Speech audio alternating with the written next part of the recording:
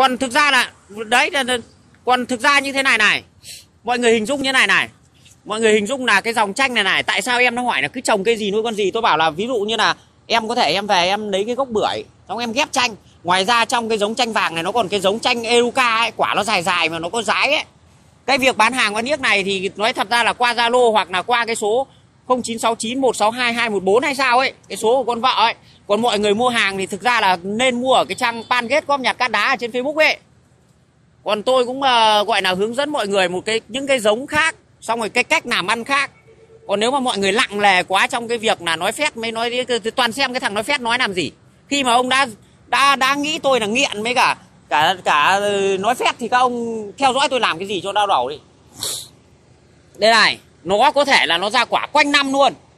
Ra hoa quanh năm luôn. Đấy ra hoa quanh năm luôn.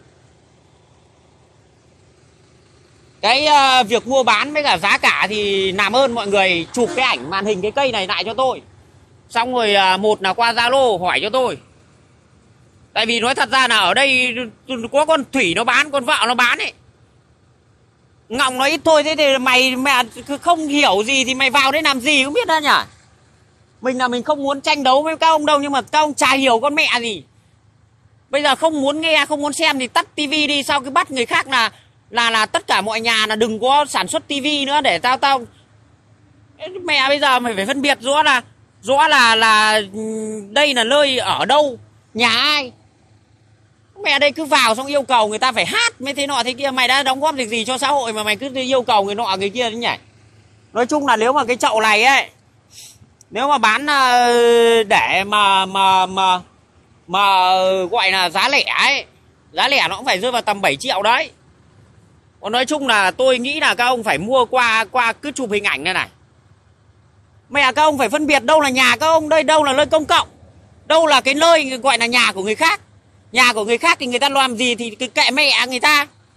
Nếu không hợp lý thì các ông làm cái đơn kiện để cho nó đỡ đỡ chướng tai ngay và gai mắt đây các ông, mẹ chả biết mình là ai. Các ông là ai? Các ông đóng góp cái gì? Các ông thích mà nếu các ông giọng các ông không ngọng ấy, thì tốt nhất các ông tự like đi xem ai xem không nào. Hay là có mỗi ờ, một là ờ, bật hai cái điện thoại thì mới có thêm mắt. Ở đây các ông đóng góp đấy, các em nhìn thấy chưa? Toàn ghép hết đây này. Em hiểu chưa? Bình thường như cái nhà kia mà cái cây này như thế này mà nó đòi trăm rưỡi, hai trăm triệu đây này. Em ra bên này cây này tí nữa nếu mà anh cho mày nhá đến cái nhà kia nhá nó đòi cây này 200 triệu. Nhưng mà tán mấy các thứ của nó thì nói chung là nó cũng to à. gốc nó như cũng chỉ như thế này thôi. Thế này cây này thì ờ, nó không ấy nhưng cây này này. Mà nó đòi đúng 200 triệu. Đòi đúng 200 triệu cây này. Gốc nó cũng cũng chỉ như thế này thôi. Mày mua kênh phân phối sản phụ khoa mà đấy các ông thấy nó, nó có ý thức có như ruồi không? Cây này này. Đòi 200 triệu. Tại vì cái với cái sản phẩm mà bưởi mà mà ghép như thế này thì nó rất là nhiều. Nhưng ghép được cây chanh như thế này, trên cái gốc to như thế này là không ai làm, không nuôi được cái tán như này. Xác định là nếu mà nuôi ở dưới đất thì chỉ khoảng tầm 2 năm. Em nhìn ra cái lợi nhuận của em mà xem. Ví dụ như bây giờ mà em em em làm ra cái cây này, em định bán bao nhiêu tiền? Bán rẻ quá cũng không được đâu. Em hiểu chưa? Với những cái dòng lạ lạ như này này, em sẽ siêu lợi nhuận.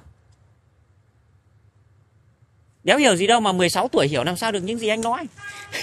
Đôi khi nha Không phải là cứ ghép cái loại này mà bán rẻ là được đâu. Bán nó ví dụ như cái công của mình một triệu Mình phải bán 4 5 triệu. Tại vì cái dòng mới không Không phải ai cũng làm được.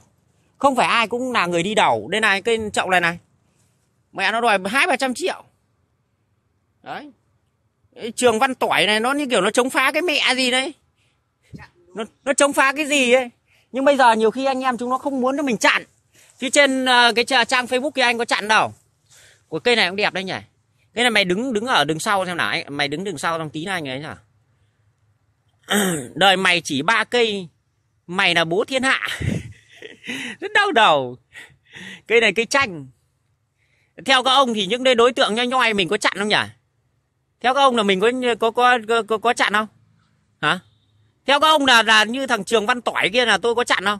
Đấy là là là chờ ý kiến đóng góp của mọi người là theo tôi theo các ông là có có chặn không?